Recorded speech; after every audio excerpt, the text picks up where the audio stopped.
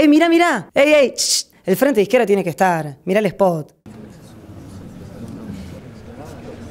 Bueno, muchachos, con el salario llegamos hasta acá. Pero si la empresa se la lleva en pala. Bueno, tenemos que hacer un esfuerzo entre todos, me parece. ¿Este es el patrón? No. Esto es nuestro dirigente del sindicato. A estos hay que echarlos a todos. Necesitamos verdaderos delegados. Hay que terminar con la burocracia sindical. Todos los días luchamos por esto. Necesitamos entonces la izquierda en el Congreso. En agosto contamos con tu voto. En provincia, lista 506, Vitrola Diputado, Frente de Izquierda.